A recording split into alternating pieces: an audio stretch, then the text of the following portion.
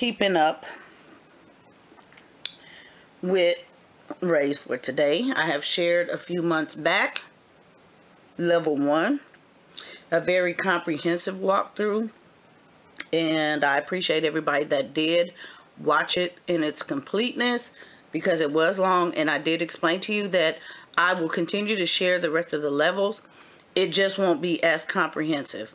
So my guess probably 20 minutes um, because I really do want to give you all a complete um, walkthrough um, as requested. So yeah, I'm gonna get into this. Here is my instructor guide and yeah, let me open this up. We'll cover.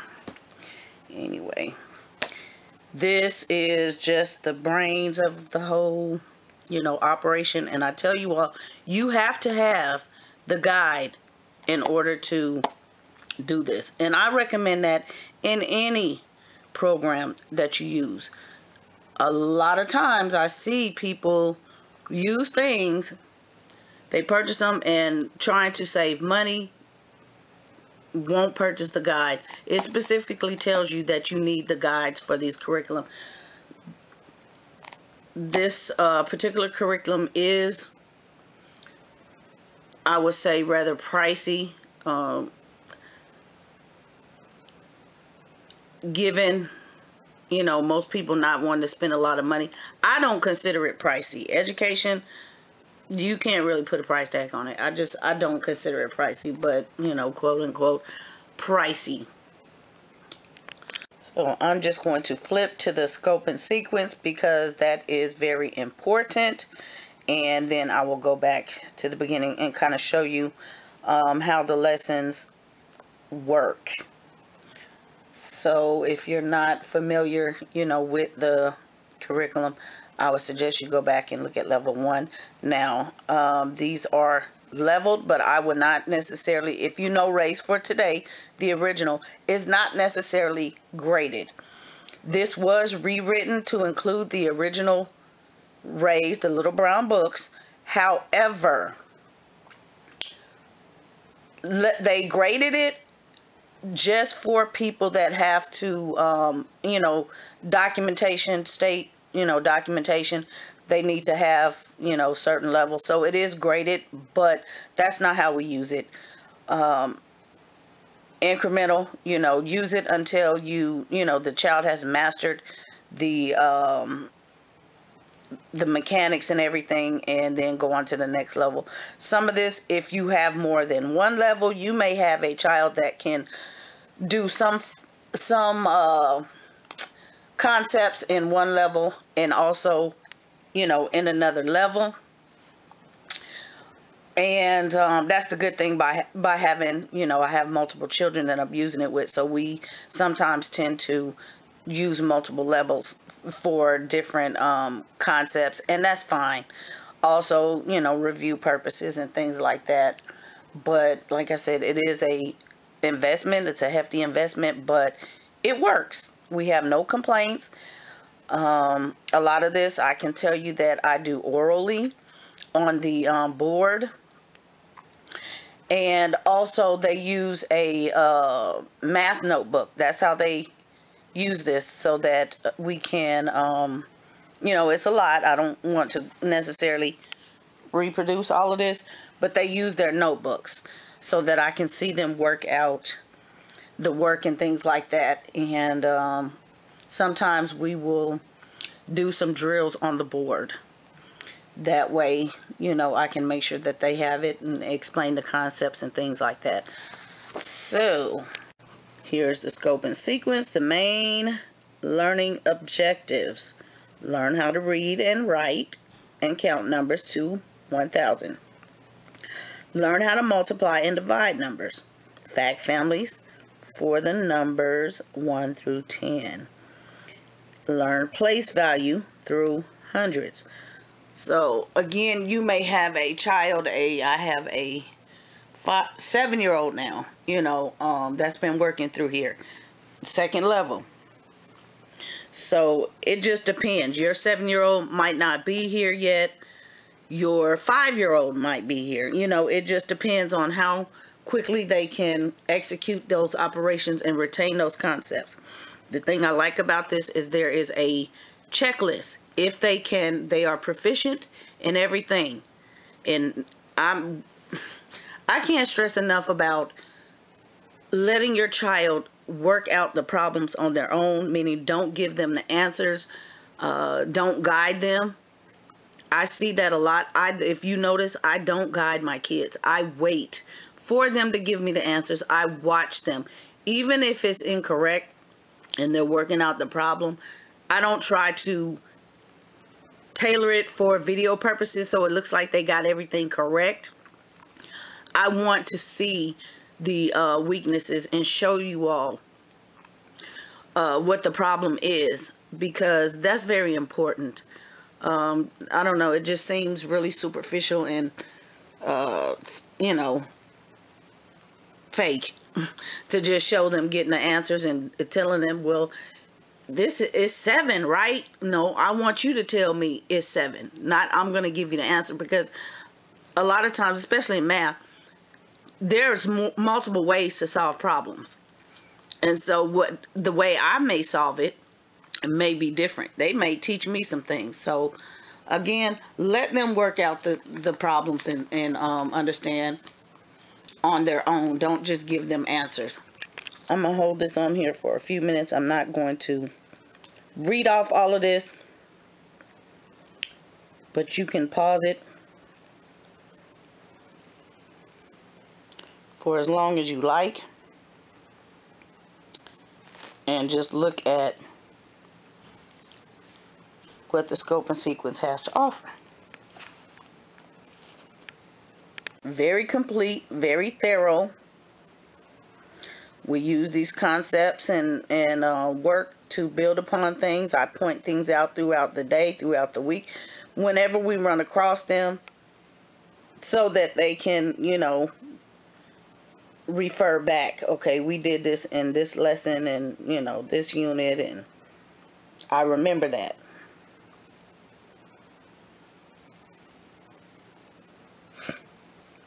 So pretty, pretty lengthy. I'm going to give you a glance at the benchmarks. And again, I'm kind of moving backwards. I'll go back to the um, the introduction and things like that, but because that's that's the meat of the curriculum, period. Any curriculum. You need to read the introduction to tell you how to use it. But these are the benchmarks and this is what I was saying about can they you know you have to honestly say can they do this without you helping them? If they can do these things then you consider them proficient. If they cannot do these things do not move on.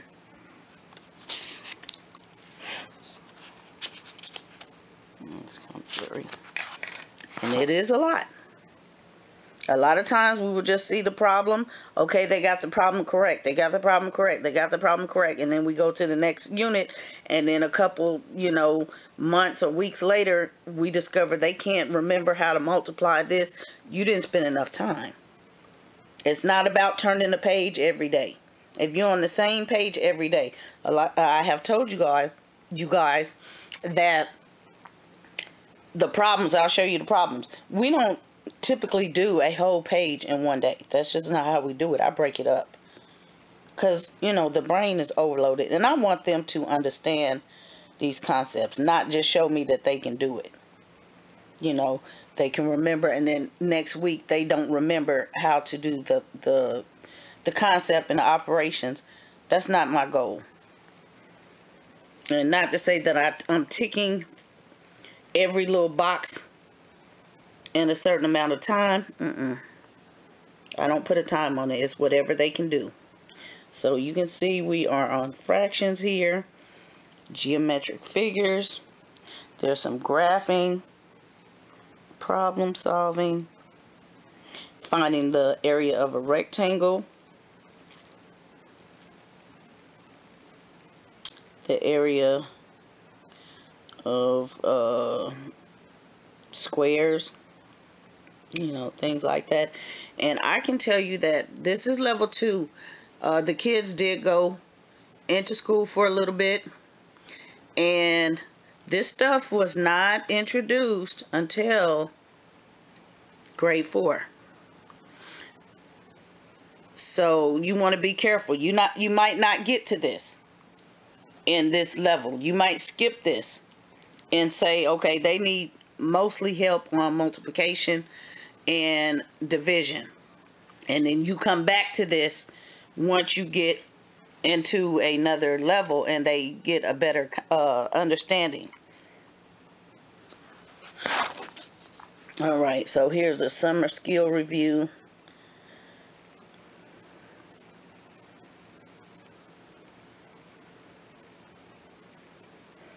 This is telling you to practice.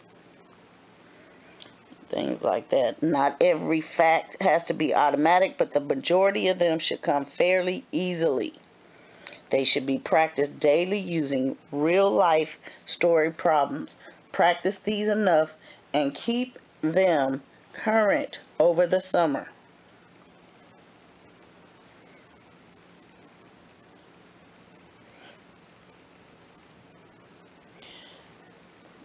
The pace at which learning takes place does not necessarily relate to intelligence or mastery. It has much to do with the learning style and how children think. And so again, um, some of these things we do on the board and I give them a chance to work them out. I will show them and then I will give them a chance to work them out in their notebooks. I have one that is uh, auditory, so that is very important for her to show her, you know, and to do the things on the board and orally so that she can give me feedback. And I can hone in on the strengths and go from there.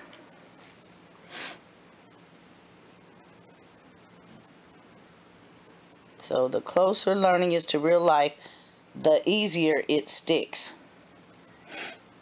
Go back to the beginning before I come back to what's on this next page or next pages. And let me find something so I can quickly turn back here. Alright. Tell you a little notes on the pronouns. Table of contents.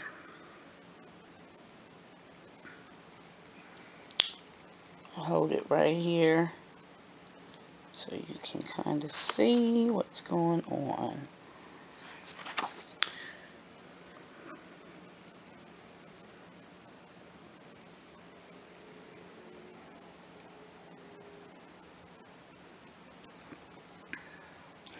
This does look like a lot. It's not overwhelming. Like I said, you work this however you need to. You need to stay on a unit. Like that unit, unit 3. You stay on that for a couple of months. This is not a race at all.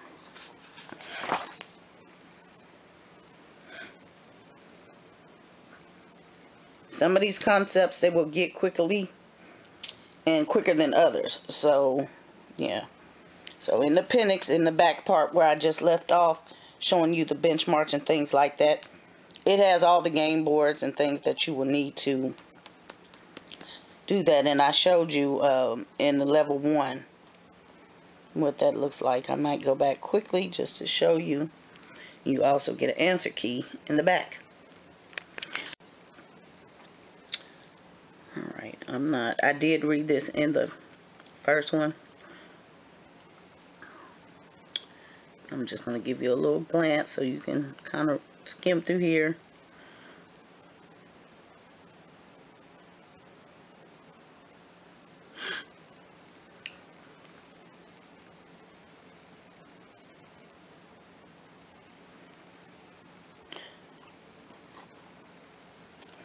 Why this journey? Very important.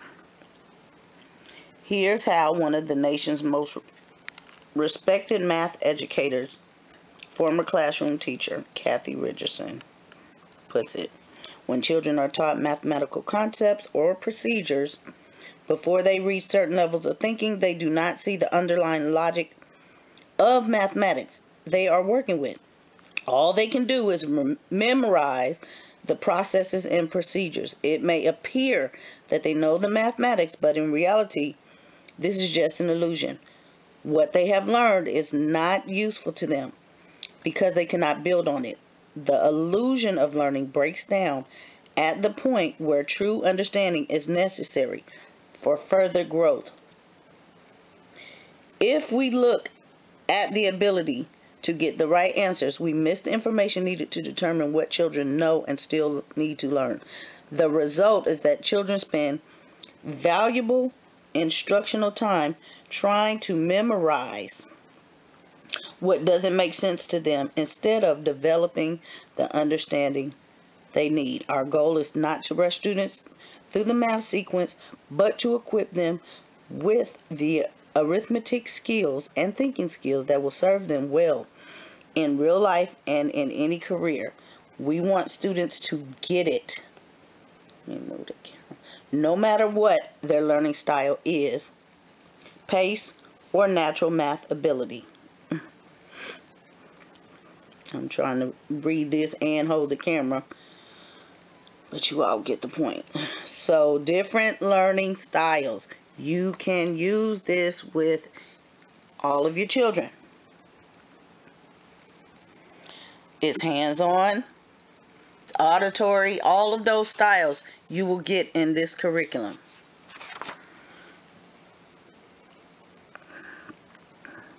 It tells you your role as the teacher, parent, you serve as a tour guide and your child is a tourist. Learning objectives. It gives you a packing list. Cement mixers. Those are found in the pages, the exercises. Those are from the original rays. That's what they call cement mixers, like the little drills and things. So in the morning, you might want to start them on the cement mixers and have them work through those.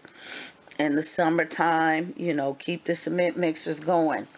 I will put the things on the board and have them write them in their notebooks. Four, five, six, ten, you know, whatever I think they need. And you can use them as timed, you know, if you want to do that. You get your assessment, all of that good stuff. Pre-assessment.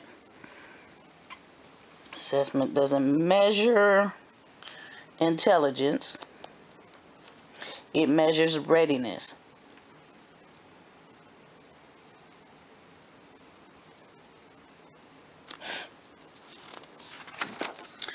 All right, so here is Level 2, Unit 1 Review, Lessons 1 through 15.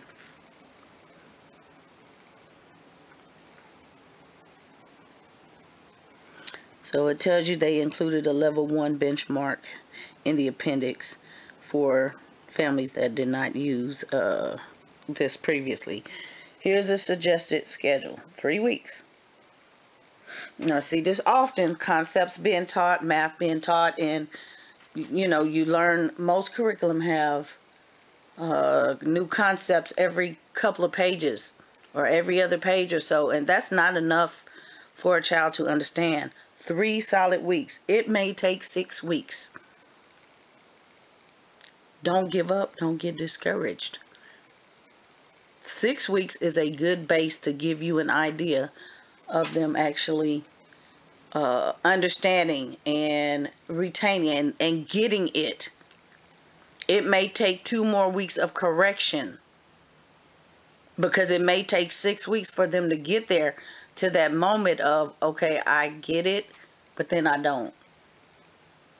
And, you know, as a parent, you have to be willing to accept that, not just trying to push them on saying, you know, you know, I saw so and so, their child is doing this, they're in this area, they're doing this, or you're giving them the answer so that they can move along. Mm-mm. Don't do that. So mile markers, it kind of gives you a little bit of what I just said. It might take longer for random thinkers. If your child struggles with the review, do not start level 2. Use level 1. Mint mixers for level 1. Begin with 2, add by 2 till you get to 100. Begin with 100, subtract 2s to 0. These are a lot of, but they should be able to do this. Okay, sometime it take a little bit, sometime it might take a long time. So I'm going to open up this student text and kind of show you what's going on in here. Here's the Unit 1 review. Again, I'm not going to read every single thing. I'm just going to pause it. Or let you pause it. Alright.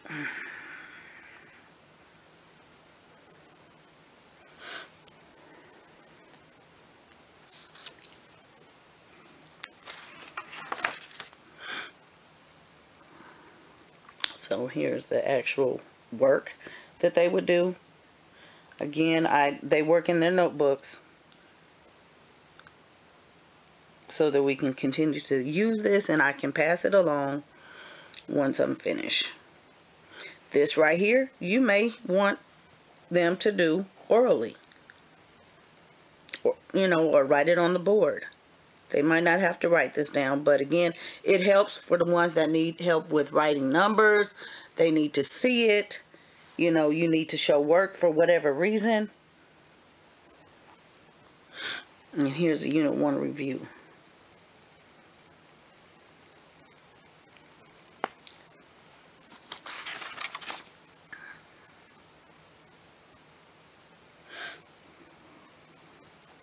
You're using counters in your packing list, it will tell you things that you need. So, let's see.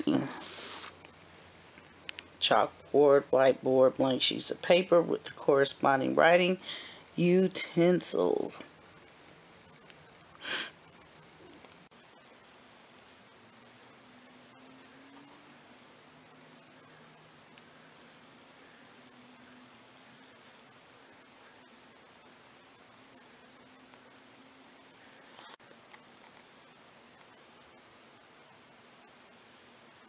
This is still lesson 3, unit 1.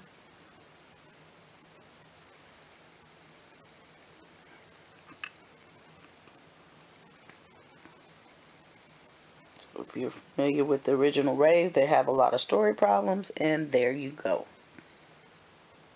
A lot of these we do as mental math because you want to get them good on the mental math, but you also want them to know how to read the story problems. So these are not intimidating at all. And again, the student text, when you see practice, this is the actual work that they are to do.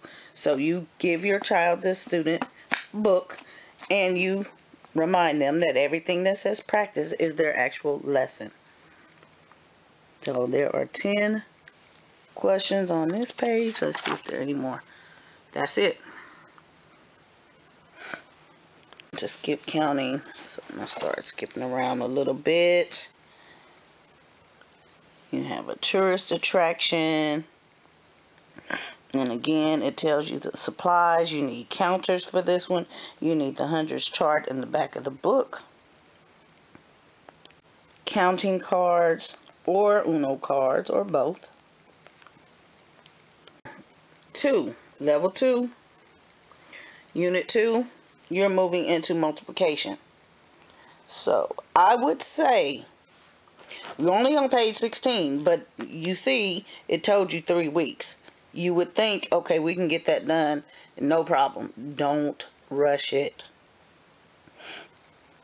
So they're moving into multiplication. They need to know how to skip count. And some kids can get that kind of quickly, but then once they move into the multiplication, they forget it's the same thing. So, how many are 2 times 5? 3 times 4. These are very, very important. markers, they're using their counters.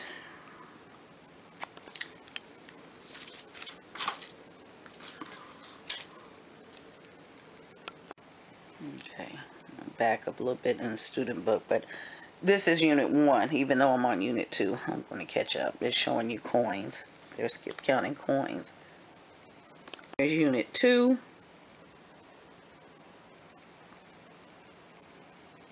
Telling them a little story.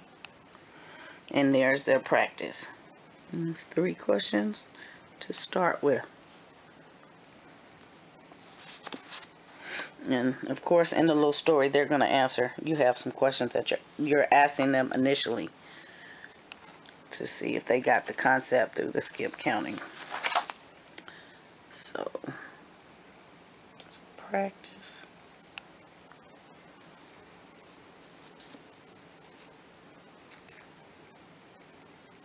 Telling you about introducing the multiplication chart that is in the back of the book.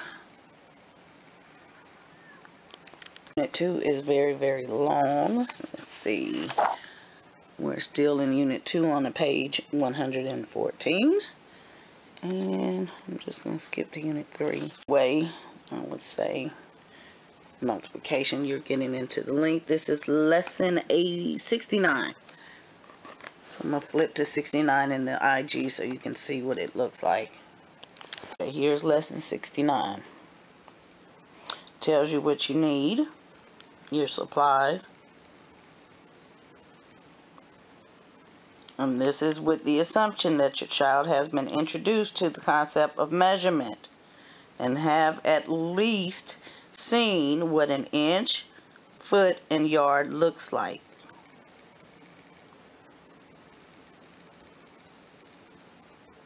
You're building on a previous lesson. So very, very important. Do not skip lessons what we see in this student text, I want to point out again, there is a lot of reading. If your child cannot read this well, obviously they should not be on this level. It is written so that they can understand it. So that's the most important thing. They should be able to understand this. If not, you want to back up, hold off, and just keep giving them practice until they can read this and understand it. Here we are, Unit 3, Division. Page 197. So this is like a whole book right here. It's going to take you a while to get here, but that's okay. And so lesson 74 is what we're on right here. Here's lesson 74. Lesson 75 lesson 76.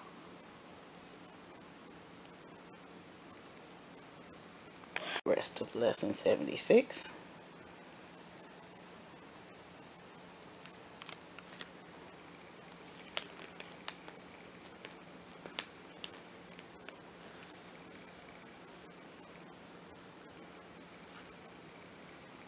Very important.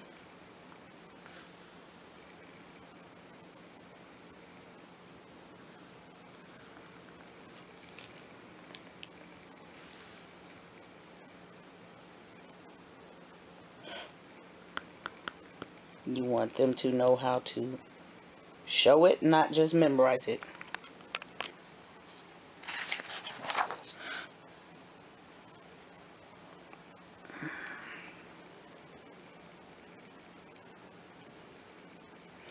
How many pencils at one cent can Felicia buy with four cent? Okay, this is their lesson. This is four problems. And it's telling you how to draw the division bonds. Again, this is the lesson that the child does on their own. We are in Unit 3, Lesson 118. This is towards the end of Unit 3 in Division. Mixed story problems. Let me turn to the IG so you can see what that looks like. It's nine problems there.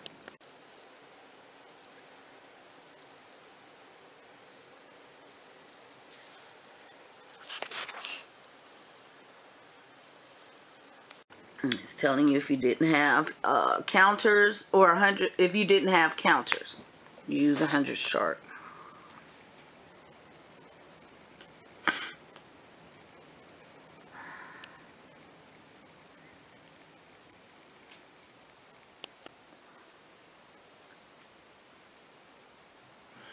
What I do in a lot of these, I do change the names. You know, if I'm doing them out loud, orally, I'll change the names and just put their little name in there. And, you know, it just adds all the fun to it.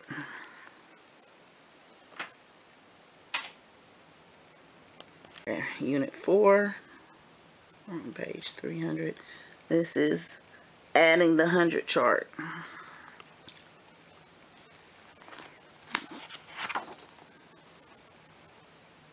And that's in 121. Here's lesson 121. So here you see the pa the packing list is a little bit longer. You know, the info is a little bit longer.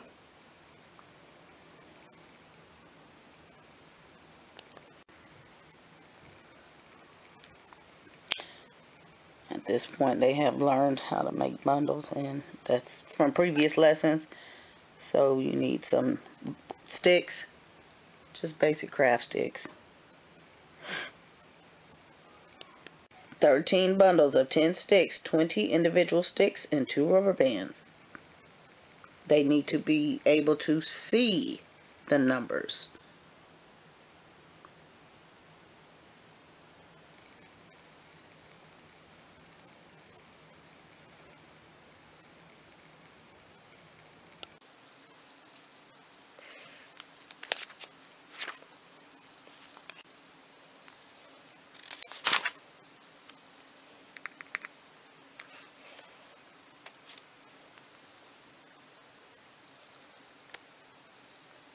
So we are on lesson 159. It seems like I'm on 431. I don't know what page I was on, but I flipped a lot of pages. And, um, yeah, the lessons are, like I said, they're not short. They're long. So you want to take your time on the units and things like that. I just flipped here because I had a random sticky note that I never moved out. That's, yeah, that's Ubro. but there is that. And what was that? Lesson 159. Okay. So we're still on the same concept. This is 76 in the IG.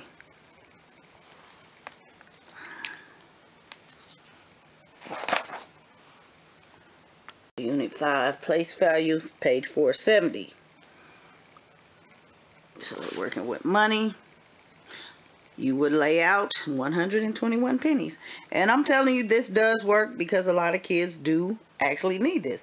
A lot of times we try to shortcut it and tell them and they just don't get it. They need to see that whole amount of money before them. Breaks down working with cents versus dollars. This is the last page, 480 write the value of the digit and then you get your glossary student book. And there's that. And so again what the rest of the IG looks like. Right so when I left you on the summer skills next page are the cement mixers. And it will tell you when to use these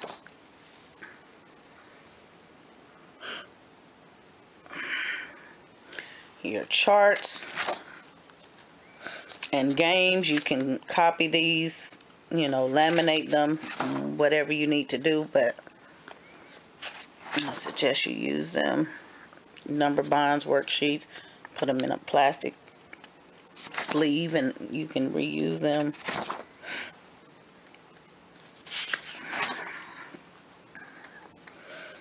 And so Again, everything is explained in the lesson. It'll tell you what game board you need for what lesson.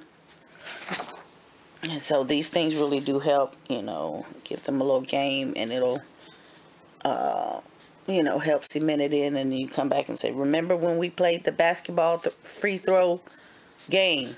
You know, the soccer field game." And oh yeah, I remember that concept.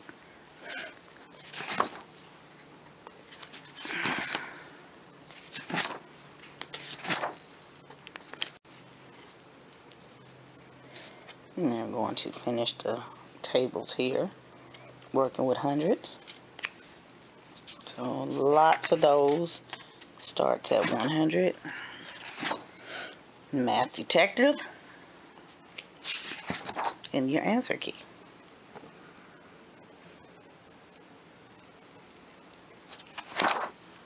So I hope this was helpful. I'm not quite sure how long until I actually edit this. Um, but again, I gave you a very comprehensive look in this book and hopefully you can get a lot out of it. Like I said, just take your time and work your way through here. Don't try to rush it and also refer back. Multiplication, again, this is says level two.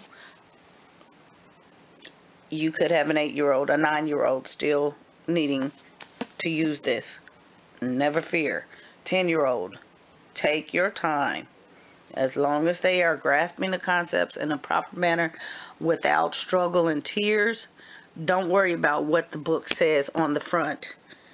The important thing is making sure they get it because they cannot move on until they get it. They won't be able to build on the concepts and learn the new concepts until they get it. So if you spend a year, six months, a year and a half, two years in the same level, it's not that big a deal at all. And again, you might have to go back and refer uh, to this level once you're past another level for whatever reason. Leave me your questions, comments, uh, anything that you think I could improve on in the next one. Level 3, um, I'm not sure. Like I said, this is kind of uh, different than doing, uh, you know, a lot of the, a lot of the videos. The walkthroughs are usually most comprehensive, but that's because I get a lot of questions, and then after the fact, um, I get a lot of questions years later. So bear with me